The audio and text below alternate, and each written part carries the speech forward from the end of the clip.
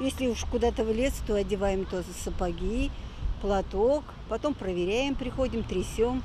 С внучкой Самиры Нина Зайчикова возвращается с прогулки вся в песке. Но это спасает от возможных укусов клещей, уверена женщина. Недавно она узнала, что опасные кровососущие обитают и в городе, в высокой траве. Где и когда она сама стала жертвой этих насекомых, так и не поняла, потому что не сразу обнаружила.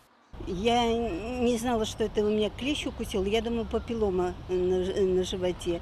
Так качается. Ну, потом пошла в поликлинику, мне там э, в хирургии вытащили, сделали уколы, но еще ходила на лечение там. Медики бьют тревогу. Клещи буквально атаковали нас. Есть сигналы об укушенных садах-огородах. Были случаи в Прибрежном, Дизелисте и других обществах. Зарегистрировано всего 338 обратившихся с, а, с укусами клещей в лечебно-профилактические учреждения города.